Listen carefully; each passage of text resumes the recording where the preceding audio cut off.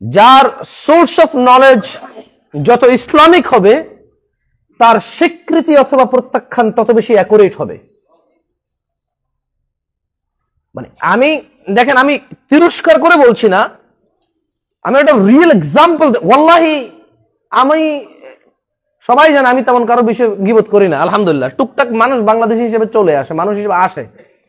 এটা আমি মনে করি সতর্ক করতেছি, যার বিরুদ্ধে যে সে মনে করে গিবোধ করতেছে। তো দুজনের দুটো থট আছে চোখে হি ইজ অলসো রাইট তার দিক থেকে এটা ঠিক আছে, যেটা গিবোধ তারে তার নলেজ এটাকে গিবোধ বলাচ্ছে। আর আমার নলেজ আমাকে বলাচ্ছে I am warning the people আমি মানুষকে সতর্ক করতেছি। অ্যাজ এ ওয়ার্নার সতর্ককারী হিসেবে কি করতেছি? সো বোথ আর সেম তার ঠিক জায়গায় সে ঠিক আছে, এখন ওই যে বললাম নলেজ হচ্ছে মূল। মানে নলেজ তো বলতেছে, আপনার বাপ দাদার আগে পিছিয়ে ল্যাস ছিল, এখন ঝরে পড়ে আপনি মানুষ হয়ে গেছেন। আরে ভাই নলেজ ওর কাছে এটা মনে হয়েছে না, ও বইতে লিখতো নাকি? পাগল নাকি ও? ও কি আপনার থেকে কম বোঝে? আপনি যে মাইক্রোফোন ব্যবহার করতেছেন, ওর মতো কেউ বানাইছে? বুঝেন নাই? আপনি যে দুতলা, তিনতলা ফাউন্ডেশন করে এখন একটার উপর একটা তালা তোলা যায়, এটার বিশ তালা করা যায়, ওর মতো কেউ একজন এসব চিন্তা ভাবনা করা লোক এগুলা বুদ্ধি বের করছে। ও কম বোঝা লোক না তো। কিন্তু তার সোর্স অফ নলেজ তার সোর্স অফ নলেজ তাকে বলতেছে যে মানুষের আগে পিছিয়ে ল্যাস ছিল, বানর ছিল সিম্পাঞ্জি ছিল, পরে মানুষ হয়েছে। আর আপনার সোর্স অফ নলেজ আপনাকে বলতেছে যে মানুষ আল্লাহ বনি, আল্লাহ আদম আলাই সালামকে বানাইছে, তারপরে সব মানুষ কার থেকে? আদম আর হাওয়া থেকে। তো এইটা হচ্ছে সোর্স অফ নলেজ আপনার নলেজ বলে যে আপনি প্রথম দিন থেকে মানুষ, ওর নলেজ বলে যে ও আগে বানর ছিল, পরে সিম্পাঞ্জি ছিল, পরে মানুষ হয়েছে। আপনার নলেজ আপনাকে বলে যে আপনি মরে গেলে হিসেব হবে, ওর নলেজ ওকে বলে যে প্রকৃতি থেকে আসছি, প্রকৃতিতে মিশে যাব। তো এটা তাকে কে লিড দেয়? তার ব্রেন লিড দেয়। তার মস্তিষ্ক তাকে লিড দেয়। মস্তিষ্ক কিসের থ্রুতে লিড দেয়? সে মস্তিষ্ক যে সে মস্তিষ্ককে যেটা দিয়ে ভরপুর করতেছে, সেটা তাকে লিড দেয়। তাহলে আজকে সবে বরাত নিয়ে আলোচনা করে তো লাভ নাই। আছে? সবে মেরাজ নিয়ে আমি বলব নাই, ও বলবে আছে। দরকার আছে? ও সারা জীবন বলে যাবে নাই, আমি সারা জীবন বলে ও সারা জীবন বলে যাবে, আছে, আমি সারা জীবন বলে যাব নাই। তর্ক তো কোনো সমাধান হবে না। শুধু শুধু জুমার নামাজের মতো পবিত্র একটা উন্নত মর্যাদাবান দিনের একটা ঘণ্টা নষ্ট হবে। এক হাজার মানুষ হলে এক হাজার ঘণ্টা, দেখা যায় কয়েকদিন নষ্ট হয়ে গেছে। তর্কের তো সমাধান নাই। এই জন্য আল্লাহ সুবাহ কোরআনুল করিমে বলেছে, এ করা, পড়ো। এই তর্ককারী লোক যারা বলেন নাই সবে বরাত, আর যারা বলে সবে বরাত আছে, এদের বোধ নাইনটি ফাইভ পার্সেন্ট বই পড়ে না। বুঝেন নাই কথা? আচ্ছা না, আমি পড়ি, সেটা বলছি না, আমি ওদের অন্তর্ভুক্ত। আপনি বলবেন যে ভাই বোনের নিজে পড়ে, এটা বুঝাতে চাচ্ছে এখন। এরকম লোক আছে। আপনি বললাম না, আমি বলি সতর্ক, সে বলে গিবত। তাহলে আমি বলি যে নাইনটি ফাইভ পার্সেন্ট পড়ে না, সে বলব যে, ও, আপনি পড়েন, এটা বুঝান না। হইতেই পারে। আসলে আমি জিনিসটা নিজের উপরেই এক্সপ্লেন করতেছি। মানে আমি চিন্তা করে দেখলাম, আমি কতক্ষণ পড়ি? তো হিসেব করে দেখলাম, যারা প্রত্যাখ্যান করে, কোনো কিছুকে বিদাত বলে আর যারা কোনো কিছুকে ইবাদত বলে স্বীকৃতি দিয়ে বাস্তবায়ন করার চেষ্টা করে, উভয় বক্তার শ্রোতারা, উভয় ইমামের মুসল্লিরা, তারা পঁচানব্বই ভাগ বই পড়ে না। পড়লেও রাস্তার আশপাশে দুই টাকা, চার টাকা, ছয় টাকা এগুলা পড়ে। কোরআন পড়ে না, অনুবাদ পড়ে না, হাদিস পড়ে না, অনুবাদ পড়ে না। তাহলে সমাধান কীভাবে হবে? মানে আপনারা যারা এখানে বসে আছেন, আপনারা দায়ী। আপনারা উদাহরণ দিবেন যে আপনারা জেনারেল, আমি হচ্ছি আলেম। যদিও আমি আলেম না ধরো না, এই জায়গায় তো আজকে পর্যন্ত এই খুদবার এই মিম্বরে বেশিরভাগ আলেম আসছে। প্রথম কেউ একজন নন আলেম আসছে, আমার তো জেনারেল পড়াশোনার যোগ্যতাও নাই, আলিমি পড়াশোনার যোগ্যতাও নাই। আমি ঠিক আপনার মতো, শ্রোতাদের মধ্যে মনে করেন আজকে খতিব না কেউ একজন এসে কথা বলতে হবে আমি ওই লোকটা। কথা বুঝছেন?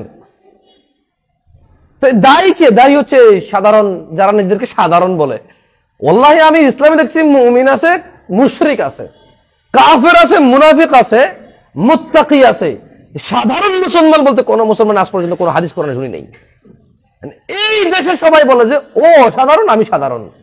তো সাধারণ হলে কি এই ক্যাটাগরিতে কি কি বেনিফিটটা কি? এই সাধারণ ক্যাটাগরিতে যারা নিজেদেরকে ফালা বেনিফিট দাঁড়িয়ে রাখা লাগবে না। ভাই সাধারণ মুসলমান, এত কিছু বুঝি না। কিছু বুঝা লাগবে না। আমরা ভাই সাধারণ মানুষ, কোরআন, হাদিস পড়ি না, বুঝি না। সাধারণ হইলে একটা বেনিফিট কি? কোরআন, হাদিস পড়া লাগবে না, বুঝা লাগবে না। উই ক্রিয়েট দ্যাট ক্যাটাগরি আমরা ক্রিয়েট করছি যে সাধারণ মুসলমান। কিন্তু কোরআন, হাদিস যদি আপনি পড়েন, কোথাও সাধারণ মুসলমান বলে পাবেন না। উল্টা আল্লাহ নবী সাল্লাম বলছে যে হ্যাঁ, দরিদ্র মুসলমান আছে। দরিদ্র মুসলমান আছে ধনী মুসলমান আছে দানশীল মুসলমান আছে কৃপণ মুসলমান আছে। হ্যাঁ কিন্তু সাধারণ মুসলমান ইসলামে আছে বলে আমার জানা নাই। আপনি বলবেন যে জামশেদ আপনি হুদা কথায় পেশাল বেশি পারেন। আরে বাংলাদেশের নব্বই পঁচানব্বই বিরানব্বই জন সাধারণ মুসলমান নিজেরে। এটা হুদাই পেশাল না ভাই। এটা একটা বিগ বিগ কথা। যে দেশের পঁচানব্বই জন মানুষ মুসলমান মনে করে যে আমি সাধারণ, তাই কোরআন পড়া লাগবে না। আমি সাধারণ, তাই দাড়ি রাখা লাগবে না। আমি সাধারণ, তাই উপরে প্যান্ট পরা লাগবে না। ও সাধারণ মুসলমান। এটা একটা দারুণ ক্যাটাগরি না? যেমন গরিব, হজ ফরজ নাই, সাধারণ মুসলমান দাড়ি দাড়ি না। যেমন গরিব, জাকাত ফরজ নাই, সাধারণ মুসলমান কোরআন, হাদিস পড়া লাগবে না। দারুণ ক্যাটাগরি না? হ্যাঁ? কি সুবিধা এই ক্যাটাগরিতে? তো আমি দেখলাম যে আল্লাহ তাআলা কোরআন কারিমে বলছে করা। পড়ো। কেউ পড়তে চাই না আমরা। সবাই স্বীকৃতি দিয়ে বাস্তবায়ন করতে চাই, অথবা প্রত্যাখ্যান করে ধুয়ে মুছে পরিষ্কার করে দিতে চাই, কেউ পড়তে রাজি নাই। ওই শুক্রবারের জুমার এক ঘন্টায়, বছরের ওই ঠান্ডার সিজনে এলাকার ওই মাহফিলের দুই চার ঘন্টায় সব ধুয়ে মুছে পরিষ্কার অথবা সবকিছু বাস্তবায়ন করার পিছনে আমরা লেগে পড়ে আছি। কেউ পড়তে রাজি নাই। অথচ তিনি সুবাহ বলছেন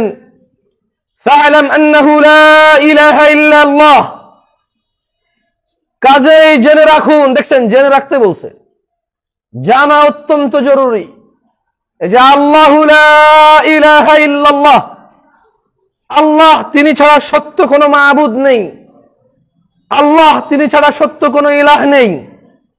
আল্লাহ, তিনি ছাড়া সত্য কোনো রব নেই। এটাও জানা লাগবে।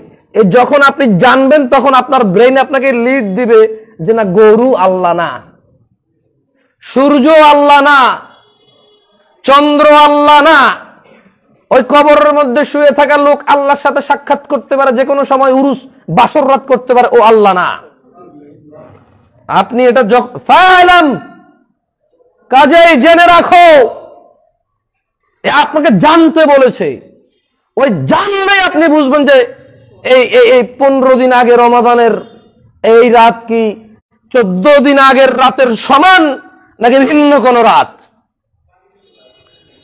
রমাদান আসার আগে পনেরো দিন আগে, পনেরোই শাহবান এ রাত কি স্পেশাল কিছু? নাকি জাস্ট লাইক চোদ্দই শাহবানের মতো? জাস্ট লাইক ষোলোই শাহবানের মতো? আপনি যখন জানবেন আপনার মেধা আপনাকে লিড দেবে। সিম্পল না। জানতে হবে। এজন্যই তিনি বলছেন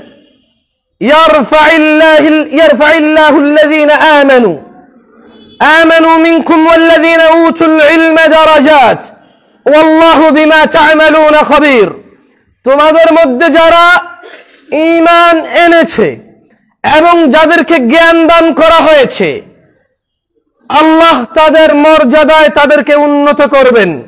আর তোমরা যা করো, আল্লাহ সেই সম্পর্কে সবিশেষ অভিহিত মানে আপনি যত বড় কিছু হয়ে যান, সম্মানিত মর্যাদাবান হবেন না।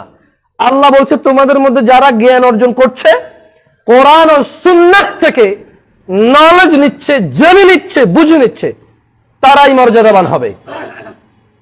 আবার চালু করছে ওইটা। আচ্ছা আচ্ছা আচ্ছা। তাহলে এর বাহিরে কেউ সম্মানিত হবে না। হচ্ছি আমরা? হচ্ছি না। ওয়াহাব হচ্ছে আল্লাহর নাম। আরেকজন নিজে নিজেই তৃপ্তি পাচ্ছে ওয়াহাবি বলে মনে করে গালি দিয়ে দিছি। আরে, ও তৃপ্তি পাচ্ছে? হ্যাঁ বলে দিছি ওয়াহাবি। ওয়াহাবি মানে তো আল্লাহওয়ালা। ও আপনাকে বলছে আল্লাহওয়ালা। আবার মনে মনে তৃপ্তি পাচ্ছে যে গালি দিয়ে দিছি তাকে। একবার ঠিক করে বলে দিছি। আবার আপনাকে সে বলেছে আল্লাহওয়ালা আপনিও রাগ করে বসে আছেন। ওহাবি কেন বললি? ওহাবি কেন বললি? আরে ভাই আল্লাহওয়ালা বলছে, খারাপ কি বলছে সে? এই নলেজ ওই জায়গায় কাজে আসে। ওই নলেজ না থাকার কারণে আল্লাহওয়ালা বলে মনে করে যে, গালি দিয়ে দিছি। নলেজ না থাকার কারণে আল্লাহওয়ালা শুনে মনে করে গালি খেয়ে গেছি। বুঝতে পারছি? Knowledge that much important knowledge এতটাই জরুরি বিষয় যে আপনাকে কেউ সুনাম করলেও আপনি রাগ করেন। আবার আপনি কাউকে সুনাম করে মনে করেন যে দুর্নাম করে দিছি। নলেজ এই জায়গায় কাজে আসে। এই জন্যই তিনি সুবহান তাআলা বলছেন যে তোমাদের মধ্যে যারা ঈমান এনেছে এবং যাদেরকে জ্ঞান দান করা হয়েছে তাদেরকে তিনি মর্যাদায় উন্নত করবেন। এবং আমরা যা করি সেই সম্পর্কে আল্লাহ তাআলা সব কিছু জানেন। তিনি অভিহিত আছেন আমাদের ব্যাপারে, আমাদের কৃতকর্মের ব্যাপারে। আমার ভাইয়েরা, যদি আমরা কোরআন তেলাওয়াত শুরু না করি, যদি আমরা রসুল্লাহ সাল্লাহ আলাই ওয়াসাল্লামের হাদিসগুলোকে নিয়ে একটু নিজেদের মন মানসিকতা ওই মুখী না করি, তাহলে আছে আর নাই এর মধ্যে আমাদের মৃত্যু হয়ে যাবে। কেন নেই, কেন আছে তার মূল আমরা জানতে পারব না। কেন আছে আর কেন নেই, এর মূল আমরা জানতে পারব না। অধিকাংশ মানুষ যারা বক্তব্য শুনে বলে যে অমুক জিনিস নাই, ওকে যদি বলা হয় কেন নেই, ও বুঝাই বলতে পারবে না আর। কারও না কারও বক্তব্য প্লে করে দেবে। কারও না কারও বক্তব্য প্লে করে দেবে। যার বক্তব্য প্লে করবে, যার সামনে প্লে করবে, ও তো আরও তিরিশ গুণ খেপে আছে এর চেয়ে ওর উপরে। বোঝেন নাই কথা? আপনি একজনের সাথে তর্ক লাগলেন। আপনারা বন্ধু, পাড়া, প্রতিবেশী, আত্মীয়, আপনার সাথে সে এতক্ষণ বসে কথা বলতেছে। এবার আপনি তাকে বোঝানোর জন্য আরেকজনের বক্তব্য প্লে করতেছেন। এতক্ষণ তো আপনি আত্মীয়, বন্ধু, পাড়া, প্রতিবেশী বসে কথা বলতেছে। ওর শেয়ার দেখে সে চলে গেছে।